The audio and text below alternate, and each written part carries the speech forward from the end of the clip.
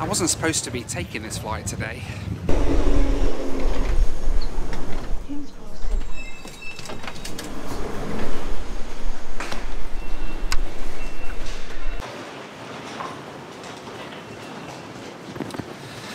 Now, I was supposed to be taking a flight today with Turkmenistan Airlines across to Bangkok, but I found out last night that they'd cancelled my flight and left me with no way of getting there. Brilliant. So after much faffing last night, I was able to find a flight that would take me to Kuala Lumpur in Malaysia with Biman Bangladesh Airlines. This video is brought to you by Dashlane. I honestly didn't know what to expect with Biman. I mean, just look at their reviews. Avoid, never take Biman, disaster, may God help this airline. Ouch. The bad reviews went on and on. Just how bad was this airline? I didn't know, but I did know that I had to find out. Biman don't offer online check-in, so I headed to the check-in desk, which was pretty crowded even three hours out. Most passengers seem to be carrying several large boxes to check in.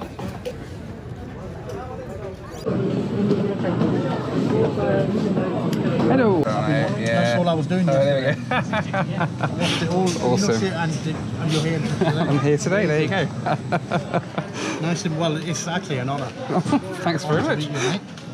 This will go on my suitcase. Will it? Don't worry about it. uh, you got no luggage? No, just hand baggage. So you need to weigh it. Or... because you're probably the only passenger who's just not handling. I know. I'll give you a little bit less weight to take anyway.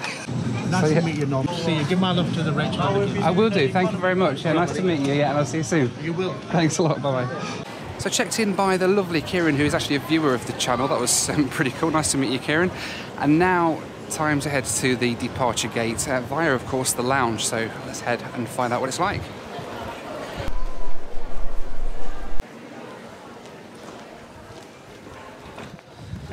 So off to find the Plaza Premium Lounge here at Heathrow Terminal 4. Let's go and see where it is. The Plaza Premium Lounge is used by Biman as well as some other airlines, including Qatar Airways. Thank you very much. Thank you. It's not a bad lounge as contract lounges go, and it's pretty comfortable with some good views across the apron.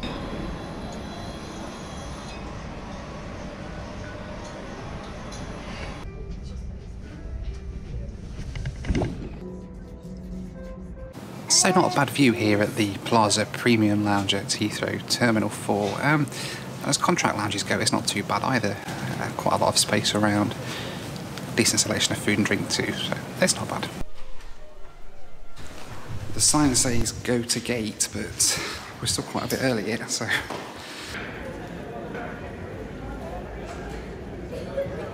So here's the first flight of the trip down to Kuala Lumpur. It's a Boeing 787-9 that Biman have only had for about a month now. There's no pictures or videos or anything about their business class product on the 787-9, so I have absolutely no idea what it's going to look like when I get on board. So first leg then on this 787 will be to Dhaka in Bangladesh with a stop I believe in a place called Sylhet which is in northern Bangladesh. I think they drop a lot of passengers off there and then we make a short like half an hour trip down to Dhaka from there. So let's go and get on board. Hello, how are you? Yeah, good, thank you. Thanks very much, cheers. It was time to head down the jet bridge to see just what Biman 787-9 was like. Right. Seven on Yeah. Thank you. Say I was surprised at the layout was a bit of an understatement. The 787-8 Thank has you. just a 222 configuration, whereas the Dash 9 has this incredible suite configuration. The seat's actually the BE Aerospace Super Diamond seat, as seen on loads of other airlines, such as Qatar Airways, American, and even British Airways, who have added a door and called it the Club Suite. So on board, and wow, this is totally not what I was expecting. Really nice configuration in a one-two-one, um, with the little suites at the sides and the two suites in the middle.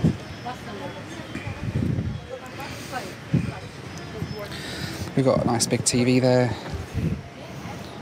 A little TV on remote there with power and everything. Literature and stuff at the back. It's really good. Proper flatbed as well. Looking forward to this flight immensely now. Um, we've got about eight hours, I think, but actually it's 10 hours because we've got that stop in Sylhet on the way as well. So have been handed out so far headphones. There's quite a chunky amenity kit. I'll go through that in a little while. And finally, the most important thing, the menu. Dinner tonight was a salad to start, followed by a choice of chicken curry, lamb or salmon. Of course, being on Biman, I needed to take the Bangladeshi curry, the first of many on this trip. Breakfast was a choice of chicken tikka or chicken bhuna. The headphones weren't bad quality, I didn't bother using my Bose headphones on this flight. The amenity kit was well presented and pretty well stocked. It came complete with all the usual amenities as well as a bottle of mouthwash that I thought was a nice touch. The eye mask, however, was a little bit basic and I ended up using my BA one that I take with me all the time. Before pushback there was a snack of peanuts, cashews and canapes that just screamed out, here comes the aeroplane. The jet bridge was disconnected and we pushed back ready for the flight to Bangladesh.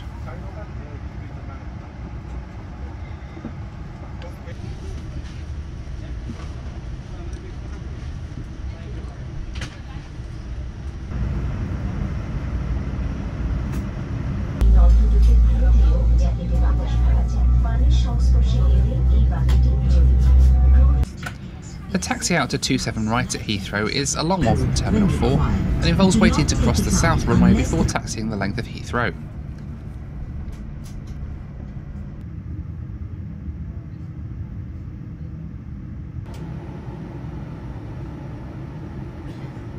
Eventually we lined up and got on our way for the 8 hour flight to Sylhet.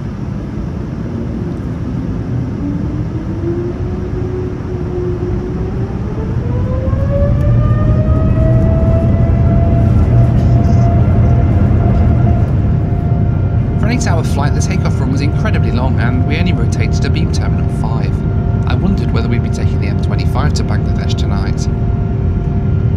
Thanks to fellow aviation YouTuber In Flight with James for videoing my takeoff from the ground.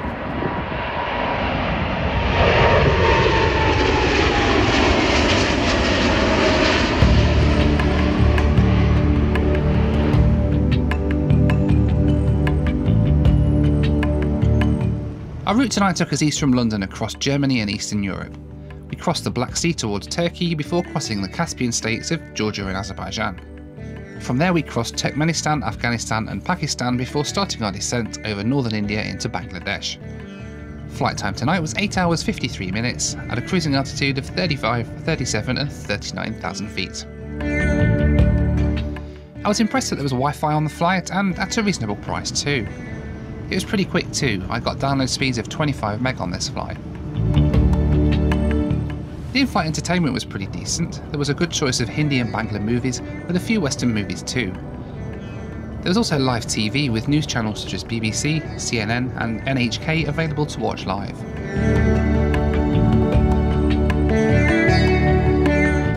I settled on finishing a movie that I started watching on a previous flight, the excellent Hindi movie Dhadak.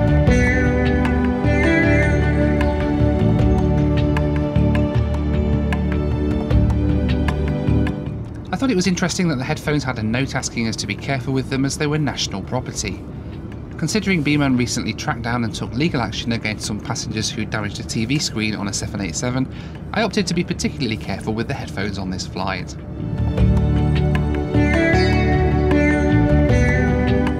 Pretty soon the dinner service started. Salad was delicious, but the Bangladeshi chicken curry was incredible.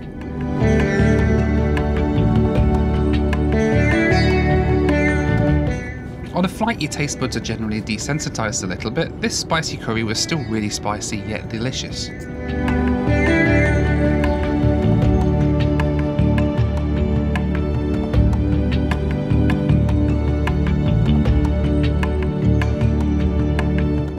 After dinner, I took a cheese course and a traditional cup of green tea, which finished the dinner perfectly.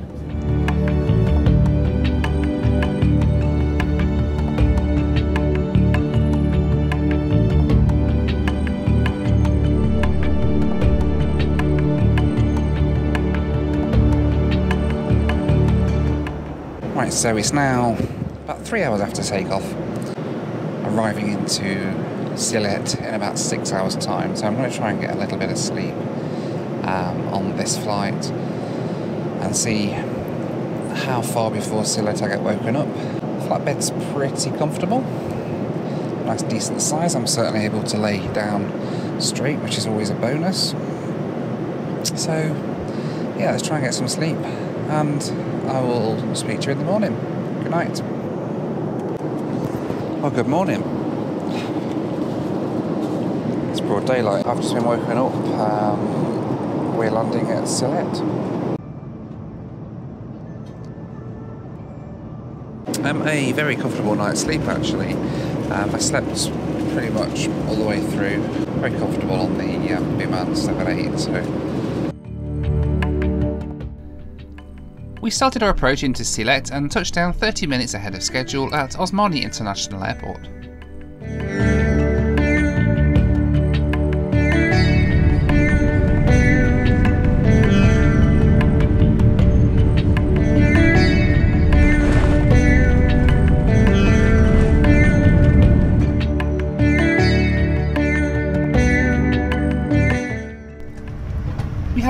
On the ground in Sylhet where it seemed the majority of passengers were getting off.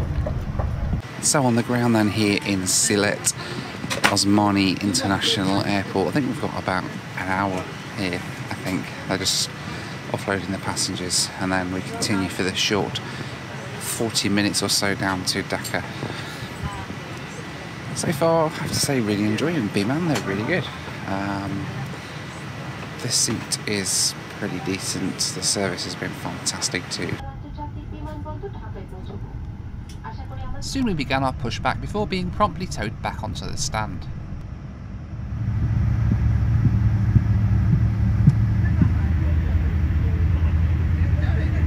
Uh, ladies and gentlemen, this is your first officer from the flight deck. Uh, due to a sick passenger on board uh, who is unwilling to travel with us anymore. Uh, we're going back to the boarding bridge uh, and, uh, where we will disembark this passenger. And we are very sorry for this inconvenience. Thank you. We pushed back from the stand and then been towed back onto the stand. They've just said that there's a sick passenger on board um, and they need to take them off. So. So you just put back on stand.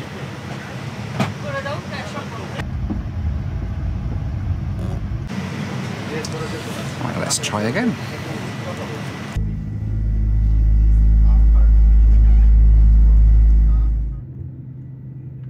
Second time lucky and we taxied out for a rocket departure for the 25 minute flight down to Dhaka.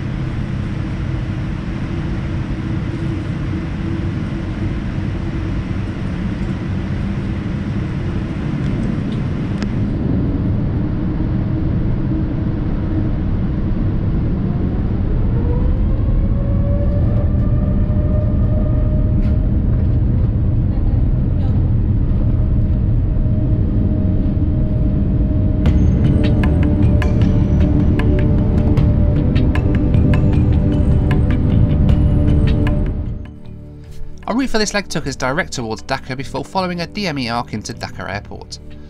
Flight time for this leg was 25 minutes at a cruising altitude of 16,000 feet.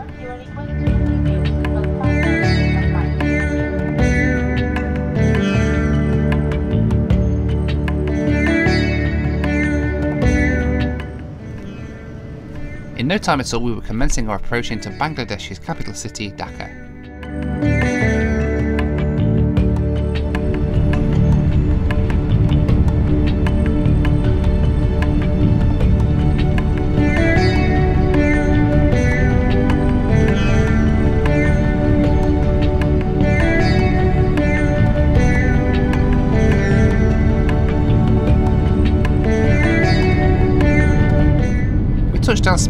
Right on time, even with the passenger having been offloaded in Sylhet.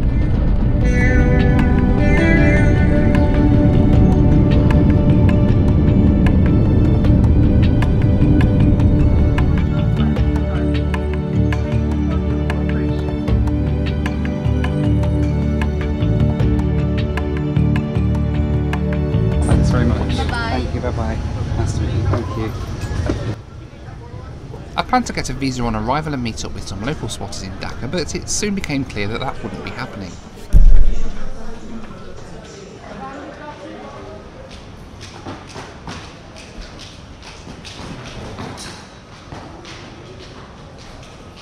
Okay, so plans have kind of gone a little bit um, wrong here at Dhaka. Um, I was actually going to meet up with some um, Bangladeshi spotters here at Dhaka Airport who were going to take me around and show me some cool viewing places, but I've just found out that I can't actually leave the airport. Um, they do a visa on arrival, but with my flight only being at 7 o'clock tonight, they won't do me a transit visa or anything. They won't do me a full visa because I'm booked on a flight straight out. So unfortunately, I'm trapped here at the airport, a la Tom Hanks in the terminal, for the next seven hours.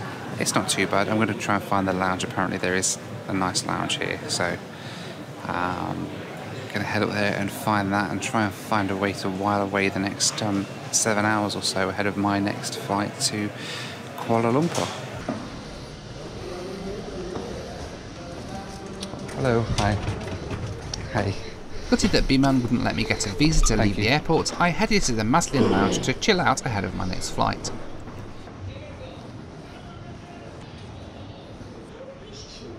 It's a pretty small lounge with only a basic range of food and drink, but there was still some nice curry for breakfast.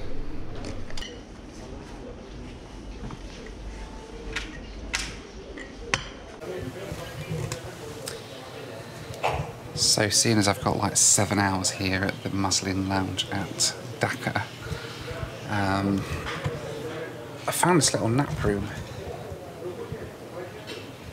It's just a couple of little beds, so I'm going to try and get some sleep because I'm still exhausted. So hopefully get a bit of sleep and I won't be quite as grumpy for the next flight. While I'm waiting in the lounge, I'd like to say a big shout out to the sponsor of this video, Dashlane. Dashlane makes it super easy to securely store all of your passwords, cards and important documents and access them on the go. It allows you to quickly generate a unique, highly secure password for each website you visit and auto-fills them on your devices so you never have to remember a password again. It's far more secure than reusing that same password with different numbers at the end over and over again. It also makes it really easy to fill in your card details whenever you make an online purchase, which is really handy for me as I can just click and fill in my card details without having to go rooting through my wallet. Aside from cards, it stores things like your passport, so wherever I am in the world, I can just open the app and pull down my passport details, great for when I'm trying to check in online or apply for e-visas when they want to know every last tiny detail of your life. Before I was lucky enough to do this as a full-time job, I worked in IT security for years. Password managers like Dashlane are regarded by experts to be the safest, most secure way to generate and protect your online credentials. Even if Dashlane were to get hacked, it would be like breaking into a bank but not being able to open any of the vaults. Only you have the key to your vault, your master password, which Dashlane don't have, and you have to enter it on your laptop or phone to get access to your passwords. So try the exclusive offer of getting Dashlane for free on your first device at dashlane.com slash Noel, and then when you want to upgrade to premium, which you will, Use my code NOEL to get 25% off. Right, time to head down to the gate. Flight will be boarding in the next kind of 15-20 minutes, so let's go.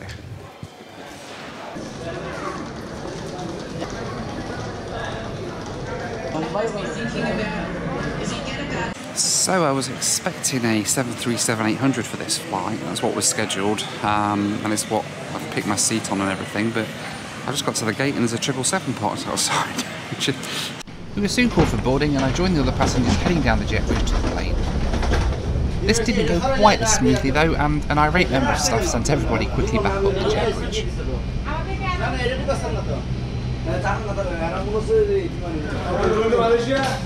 Kuala Lumpur? Yes. It turned out we'd been sent to the wrong plane and we waited back in the gate area for the right plane. Eventually though it was time to do take two at boarding. Biman board economy class first and business class last, which is the first time that I've ever come across this. It kind of makes sense, it gives you longer to relax in the airport and means that you don't have a plane full of passengers pushing past you after you board. But I can imagine some Westerners not being quite as happy as being pushed to the back of the queue. There's a dedicated business class minibus out to the plane, and we teasingly drove straight past the 777 and 787 on the ramp to the 737 that sat behind it.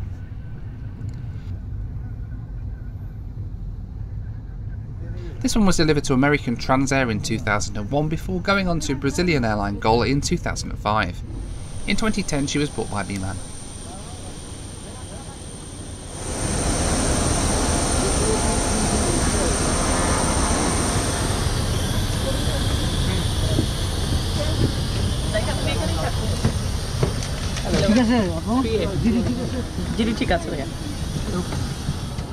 On board the 737-800 has a 2-2 configuration in business class with these lovely big armchairs. Um, so this is not a 777. it's a 737, as planned. Boo! But anyway, on board the Biman 737 down to Kuala Lumpur. I snacked on some nuts before we pushed back from the gate, and before long we pushed back and headed out to the runway. The route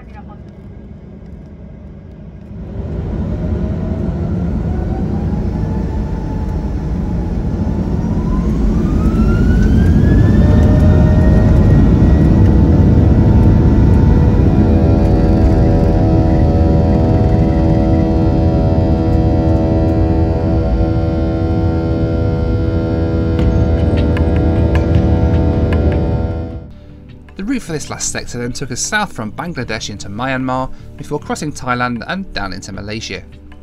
Flight time tonight was 3 hours and 33 minutes at a cruising altitude of 37,000 feet.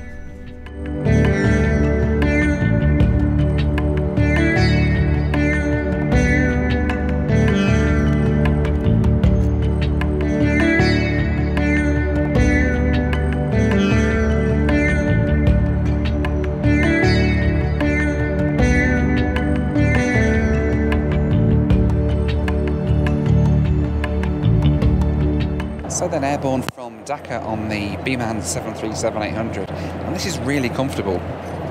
It's like flying in the olden days with the old armchair reclining seats. It's really comfy, uh, especially for just a two or three hour flight. I'm not sure I'd want to do any longer on it, but um, for a three hour flight, this is really good. They've just come and taken my dinner order, so I've taken another chicken curry. It is amazing.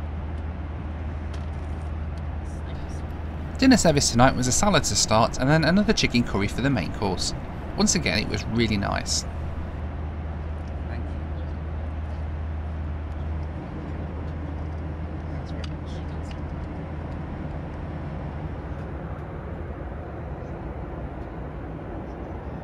Now, the crew are really, really nice on this flight, as they were on the last one. Um, and they've just noticed that I am coming down with a bit of a cold at the moment, and they've brought around something. And she said to try this because it's really good for dealing with a cold, apparently, and it clears it up and makes you feel better right away. I'm not entirely sure what it is. It has some sort of sesame oil in it. Maybe my Bangladeshi viewers can enlighten me a little bit more as to what it is, but I'm going to try it and see if it really does make me feel any better. So let's have a go.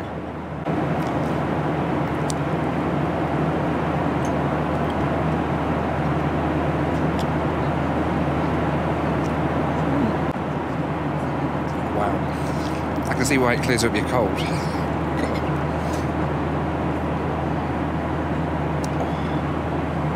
Jesus. Seeking something a little less lively, I finished dinner with a cup of tea.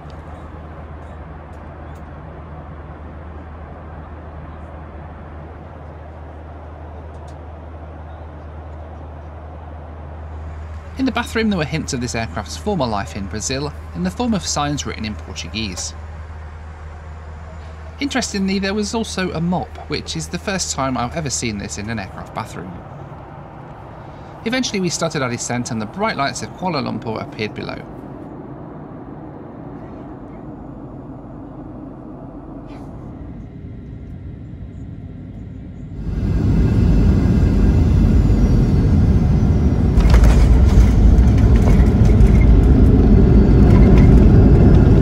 My flight to Kuala Lumpur today cost me £1,172 or just over 1500 US dollars. This is for a distance of 6,748 miles, giving a cost per mile of 17 pence. Thanks very much. Have a good evening. Thank you.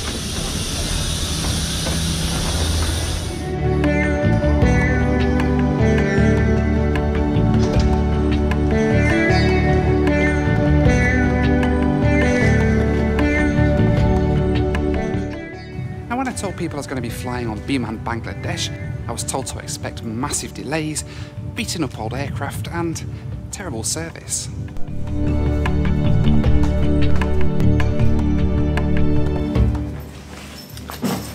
But you know what? They're actually really good.